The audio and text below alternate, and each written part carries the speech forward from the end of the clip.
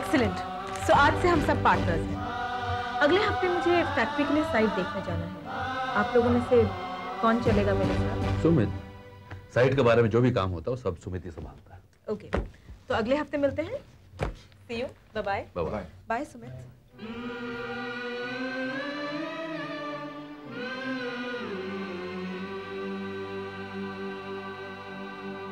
हरगिज नहीं मैं साइट देखने नहीं जाऊँगा।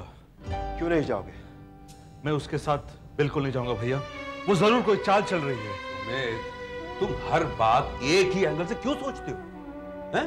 वो बेचारी तो अपने बिज़नेस पॉइंट ऑफ़ व्यू से बात कर रही है। मैं खूब समझता हूँ उसके बिज़नेस पॉइंट ऑफ़ व्यू को। देखो सुमित हमने तुम्हें पहले भी समझाया है कि अगर हमें बिज़नेस में करोड़ों का फ़ायदा हो रहा है तो दिखावे के लिए उससे रिश्ता बनाए रखने में क्या हर्ज है? एनीवे हमने पूर्णिमा से कह दिया तुम्हें ही जाना पड़ेगा। क्या हुआ? कहाँ जाना पड़ेगा? इसे समझाओ पाए हम इससे कह रहे हैं कि पूर्णिमा के साथ जाके नई फैक्ट्री के लिए साइट देखा और ये मान नहीं रहा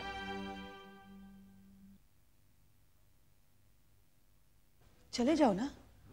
पायल वो दो दिन की बात है। तो क्या हुआ? बिज़नेस में ये सब चलता है? तुम तुम समझ नहीं रही हो। ओ अब मैं समझी कि तुम ये सोच रहे होगे कि अगर तुम दो दिन के लिए बाहर जाओगे तो मैं नाराज़ हो जाऊँगी। अच्छा पापा मैं बिल्कुल नाराज़ नहीं होंगी। आप जाइए और अपना काम करके आइए ओके? अब तो पायल ने भी इजाज़त दे दी। अब तो तुम्हें कोई एतराज़ नहीं होना चाहिए। हम्म।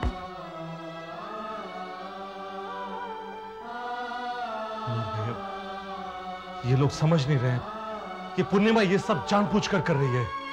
आप प्लीज़ कुछ कीजिए ना। मैं तेरी मजबूरी समझ सकता हूँ छोटे। लेकिन क्या करूँ? खुद मजबूर कुछ नहीं कर सकता।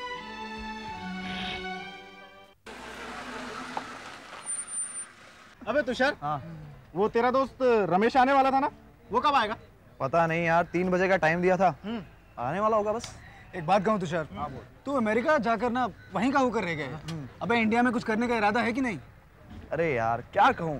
सब कुछ तो है वहाँ पे सेटल्ड मैं तो कहता हूँ तुम लोग भी चलो मेरे साथ। नहीं यार मेरे लिए इंडिया और अमेरिका सब एक ही बराबर है। इंसान अगर चाहे तो यहाँ पर भी बहुत कुछ कर सकता है। एनीवे तुम लोग ऐश करो मैं चलता हूँ। कहाँ जा रहा है यार? इतने दिनों बाद मैं आया हूँ। चल यार कहीं बियर बार में बैठ के बियर शेयर पीते हैं। अरे बियर नहीं यार बियर नहीं। पहले तो पिया करता था ना?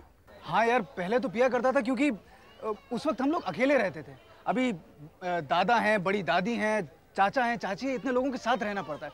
बियर पी के घर जाऊँगा ना तो बहुत गड़बड़ हो जाएगी। तू पी के घर देरी से पहुँचना समझा? सब सो चुके होंगे तू आराम से जाके सो जाना समझा? लगता है रमेश आने वाला नहीं है। चलो चलते हैं। चले Okay, या। चल। क्या? आकाश सिगरेट पीता है? हाँ आज मैंने खुद उसे सिगरेट पीते देखा है। और तुम देखकर चुपचाप चलिए वो अपने दोस्तों के साथ था। मैं तुम्हारी जगह होता ना इसके दोस्तों को भी दो दो थप्पड़ लगा के आता। क्या बात है डैड? बड़े गुस्से में आप? खूब रोशन कर रहे हो अपने खानदान का नाम। मगर बात क्या हुई डैड? आज तुम्हारी माँ ने तुम्हें तुम्हारे दोस्तों के साथ सिगरेट पीते हुए देखा है। हाँ डैड वो जरा दोस्तों ने ज़बरदस्ती सिगरेट पिला दी। हाँ। दोस्त ज़बरदस्ती तुम्हें शराब पीने को कहेंगे तो वो भी पी लेना। अच्छा? डैड आजकल ये सिगरेट पीना ये शराब पीना आजकल एक तरह का फ़ैशन है एक तरह का। अपनी सभ्यता को भूलना फ़ैशन हो गया है। हमें भी ऐसे शौक जवानी में पढ़ सकते थे लेकिन हमारे बाप दादा ने हमारे अंदर जो संस्कार डाले हैं ना हम चाहते हैं कि वही संस्कार तुम में रहे। कान खोलकर सुनो। ये एक सभ्यता वाला एक आदर्श वाला घर है। इस चार दीवार में ये फ़ैशन नहीं चलेगा तुम्हारा। डैड आप तो ऐसे बात कर रहे हैं जैसे मैंने किसी का खून कर दिया हो। एक एक सिगरेट ही तो पी है। और कौन से सिगरेट के पीने से आपके इस घर के आदर्शों और सभ्यता को मैंने आग लगा दी हो?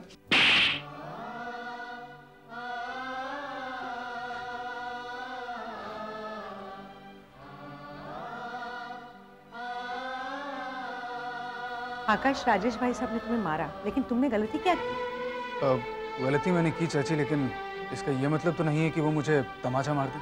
हाँ आकाश लेकिन तुमने गलती क्या की? वो मामा ने मुझे दोस्तों के साथ सिगरेट पीते हुए देख लिया था। ये तो तुमने बहुत गलत बात की आकाश। सिर्फ़ बुरी नहीं बहुत बुरी बात है। एक तो सिगरेट पी ऊपर से अपने पिता से जबान लड़ाई। लेकिन इसका मतलब ये तो नहीं ना भाभी कि कोई जवान बेटे पर हाथ उठाए। तो क्या करती? तुम उनकी जगह पे होती ना? तो तुम भी इसे एक तमाचा मारती। चाची आप लोगों की तरह नहीं है। और डैड को ये बात समझनी चाहिए कि मैं अभी बच्चा नहीं रहा कि उनकी उंगली पकड़ कर चलता रहूँगा। नालायक तेरी जगह भाभी ने ब्याह करी आप? होश में रहे ना। प्लीज़ देवरानी तुम बीच में मत बोलो। ये माँ बेटे का मामला है। हमारे बीच में बोलने का तुम्हें कोई हक नहीं पहुँचता। क्या कहा आपने भाभी? माँ बेटे का मामला? इसका मतलब मतलब आकाश पर मेरा कोई अधिकार नहीं, क्या? मैं तो आज तक उसे अपना बेटा समझ कर जी रही थी। अच्छा क्या भाभी? आपने ने मेरी आँख खोल दी।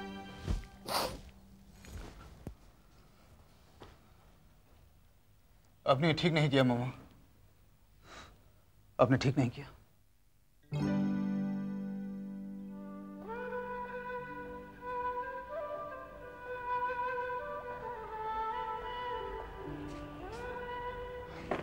देवयानी?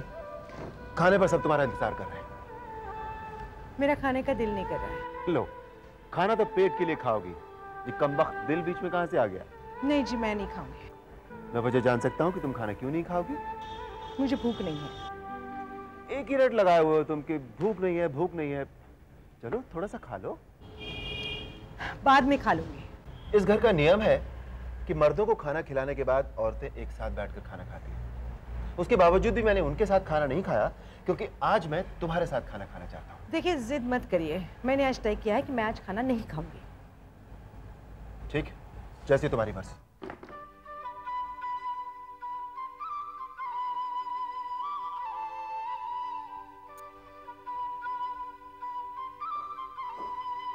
ये क्या? बहू कहाँ है? वो कहती है बाद में ऐसे कैसे बाद में खाएगी? दादी मैम वजह तो मुझे नहीं मालूम लेकिन वो तो कहती है मैं आज खाना नहीं ये अचानक भाभी को क्या हो गया? मैं देख कर आती हूँ।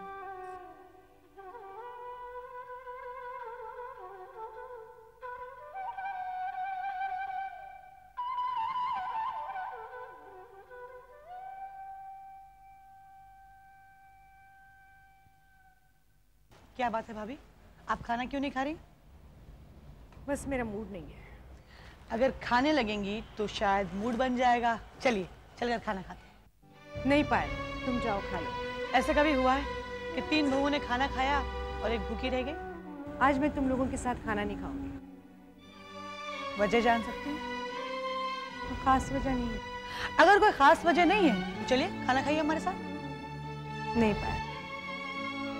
मैं जानती हूँ आपको भूख लेकिन कम से कम दादी माँ का दिल रखने के लिए दो चार निवाले खा लीजिए। सॉरी चलिए एक निवाला खा लीजिए या फिर चखी लीजिए। भाभी अगर आप मेरे साथ नहीं चलेंगी तो मेरी बेइज्जती हो जाएगी। क्या आप चाहती है मेरी बेइज्जती हो? नहीं। तो फिर चलिए।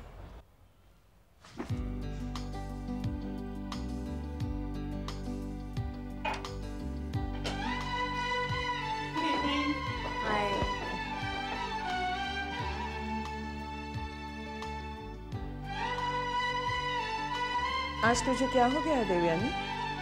हमेशा तू सबका खाना परोसती है। बस तबीयत कुछ खराब है।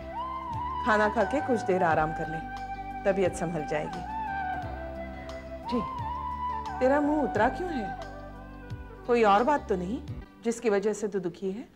नहीं तो इस घर में मुझे इतना प्यार मिलता है इतना सम्मान मिलता है और अपनों पर जो अधिकार मिलता है ना मैं क्यों भला दुखी हूँ? भाभी ज़रूर कोई गड़बड़ है। इसलिए डाइनिंग टेबल पर वो दोनों ने एक दूसरे से बात नहीं की। लगता है दोनों में झगड़ा हुआ है। हाँ इसलिए वो दोनों एक दूसरे के पास बैठी तक नहीं। अगर ऐसा है तो मुझे लगता है हमें उन दोनों को मनाना चाहिए। हाँ वो भी आज और अभी वरना बात और बिगड़ जाएगी। तुम ऐसा करो तुम देवयानी भाभी को समझाओ मैं सुभद्रा भाभी को समझाती हूँ। ठीक है चल। मेरी तो समझ में नहीं आता। मैंने ऐसे कैसे कह दिया? मुझे नहीं कहना चाहिए था। देवयानी को कितना दुख हुआ होगा। अब जो हो गया उस पर पछताने से क्या फ़ायदा? अगर आप यही बात देवयानी भाभी से जाकर कह देंगी तो सब गिले शिकवे दूर हो जाएँगे। मैंने माफ़ी मांगने की बहुत कोशिश की लेकिन शर्म के मारे मेरी ज़ुबान ही नहीं खुली। किस मुँह से माफ़ी मांगी? पता नहीं मुझे क्या हो गया था जो मैं आप उस बात को याद मत कीजिए। आपको गलती का एहसास हो गया? वही बात है। चलो मेरे साथ देवयानी के पास चलो। मैं सुभद्रा भाभी पर नाराज़ नहीं हूँ। लेकिन तुम ही बताओ पाए इतनी बड़ी बात उन्होंने मुझसे कैसे कह दी? गुस्से में कह दी होगी। और मुझे यकीन है कि उन्हें इस बात का एहसास भी हो गया। एहसास तो ज़रूर हो गया। लेकिन तुम्हें बताओ क्या मैंने शशि और आकाश को अपने बेटों जैसा नहीं पाला? क्या मैंने उन्हें माँ का प्यार नहीं दिया? सुभद्रा भाभी ने ऐसे कैसे कहा कि मेरा आकाश के ऊपर कोई अधिकार नहीं है? अब छोड़िए ना इस बात को और माफ़ कर दीजिए सुभद्रा भाभी। माफ़ करने वाली मैं कौन होती मेरी छोटी बहन। एक बहन दूसरी बहन की गलती को माफ़ कर सकती है ना? मुझे माफ़ कर दो दिव्यानी मैंने तुम्हें बहुत कुछ कह दिया। जाने भी दीजिए ना सुभद्रा भाभी। अब उस बात को याद करके क्यों गिले शिकवे करे? भूल जाइए। भगवान के लिए दिव्यानी अपने दिल में कोई खलिश मत रखना। आपने मुझे छोटी बहन कहा ना एक बहन दूसरी बहन के बारे में दिल में कोई खलिश नहीं रखती है। जाने दीजिए। गिले शिकवे ऐसे दूर नहीं होते दिल से दिल मिलने चाहिए। और दिल से दिल मिलने के लिए एक दूसरे को गले मिलना पड़ता है। छोड़ी से ना छूटेगा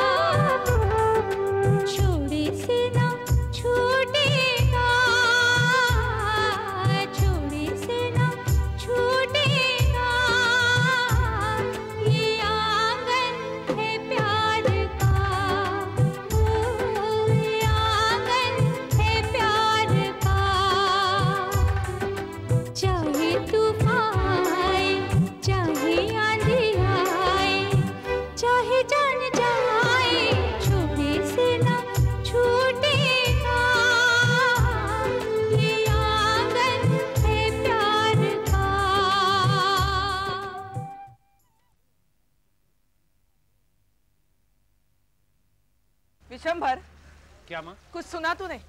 क्या? मेरी समझ में नहीं आता तेरे होते हुए ये क्या हो रहा है इस घर में? लेकिन हुआ क्या माँ? आकाश सिगरेट पीता है। आकाश और सिगरेट? ये तुम क्या कह रही हो माँ? वही जो सुना है। तुमसे किसने कहा? कल सुभद्रा और देवयानी के बीच जो अनबन हो गई थी उसकी वजह ये सिगरेट है। ओह ये तो बहुत बुरी बात है। शर्म आनी चाहिए तुम्हें। मुझे? कमाल है। सिगरेट पोता पिए और शर्म दादाजी को है ये कहाँ का इंसाफ है? इस घर के मर्दों को मुट्ठी में रखने की ज़िम्मेदारी तुम्हारी थी। फिर भी आकाश बिगड़ कैसे गया? हाँ ये तो सोचने वाली बात है। आकाश बिगड़ कैसे गया? सोचना नहीं पूछना है। पूछ उससे। उसे ये आदत लगी कैसे? अभी पूछता हूँ माँ। आकाश! आकाश! आकाश! जी दादाजी। ये मैं क्या सुन रहा हूँ हाँ? क्या सुन रहे हैं? तुम सिगरेट पीते हो? फेफड़े जलाते हो? तुम्हें पता है सिगरेट के पैकेट पर क्या लिखा हुआ होता है? Cigarette smoking is injurious to health इसका मतलब है सिगरेट शरीर के लिए हानिकारक है। इसके बावजूद तुम पीते हो? तुम्हें अक्ल है कि नहीं? पता है ये जहर है इससे आदमी मर जाता है। फिर भी पीते हो? मेरे बेटे को देखो पूरी ज़िंदगी गुजर गई। कभी कोई बुरी आदत नहीं डाली। मेरी समझ में नहीं आता इस खानदान का खून होकर भी तुम्हें ये बुरी आदत पड़ी कैसे? आई एम सॉरी बड़ी दादी सॉरी कह देने से पीछा नहीं छूट जाएगा। मुझे पता है सिगरेट पीने वाले की हर सिगरेट आखिरी होती है। वो कभी पीना नहीं छोड़ते। ये तो शर्म की बात है। अरे बाबूजी ने तुम्हें इतने अच्छे संस्कार दिए सही रास्ता दिखाया उसके बावजूद तुम भटक गए। अब मेरी बात ले लो। मेरे कॉलेज के सारे दोस्त सिगरेट पीते लेकिन मैंने आज तक सिगरेट को नहीं छोड़ा। बड़े शर्म की बात है आकाश। मुझे तुमसे ये उम्मीद नहीं। थी मुझे तो तुम्हें अपना भाई कहते हुए भी शर्म आती अरे बाबूजी की इज़्ज़त का जरा भी ख्याल नहीं रहा तुम्हें अगर किसी ने तुम्हें सिगरेट पीते हुए देखा होगा तो क्या सोचेगा सीधे दादा इतना टेढ़ा पोता। इसने सिर्फ़ विषम भर के नहीं पूरे खानदान की नाक काट दी है। तुम सही कहती हो माँ। इसे सबक सिखाना ही पड़ेगा। चलो मेरे साथ आओ। आगे इसकी शामत। इसकी यही सजा है। आई एम सॉरी दादाजी मैं मैं सिगरेट पीना छोड़ दूँगा। मैं कैसे यकीन कर लूँ कि तुम सिगरेट पीना छोड़ दोगे हाँ? अबे सिगरेट पीने की तमीज भी है तुम में जी। जी जी क्या कर रहा है? क्या गारंटी है कि तुम सिगरेट छोड़ दोगे? बोलो। अबे सिगरेट पिए बिना नहीं रहा जाता तो कम से कम पकड़े तो मत जाओ। हाँ? ऐ, क्या कर रहा है? अभी मैं तुझे बताता हूँ हाँ? पिएगा सिगरेट? अरे नहीं पीऊँगा दादाजी। अरे मर गया। बेचारा। एक सिगरेट पीने का भी एक तरीका है। मुझे देख पिछले 25 सालों से सिगरेट पी रहा हूँ लेकिन अभी तक पकड़ा नहीं गया। अरे दादाजी आप और सिगरेट? जवानी में सिगरेट और बुढ़ापे में बीड़ी। क्या है कि बीड़ी को आसानी से छिपाया जा सकता है? दादाजी thank you for the great idea चुप! कभी सिगरेट नहीं पिएगा देखो। हाँ कभी नहीं पिएगा। देख बेटा सिगरेट पीना बहुत बुरी बात है। दादाजी आप भी तो पीते हैं। तो उम्र कट गई तेरे सामने तो सारी ज़िंदगी पड़ी है हम्म? खा मेरी कसम खा मेरी कसम कि तू सिगरेट नहीं पिएगा। अब, अब, अब, मैं मैं आपकी कसम खाता हूँ दादाजी। मैं सिगरेट को हाथ भी नहीं लगाऊँगा। शाबाश! अच्छा हुआ अपन दोनों राजदार बन गए अब एक काम करना वो शाम को लौटते वक्त एक बीड़ी का बंडल ले आना मेरे लिए। बीड़ी का बंडल? ठीक है ठीक ठीक। है संभल कर किसी को कानो कान पता न चले। किसी को कानो कान पता नहीं चलेगा।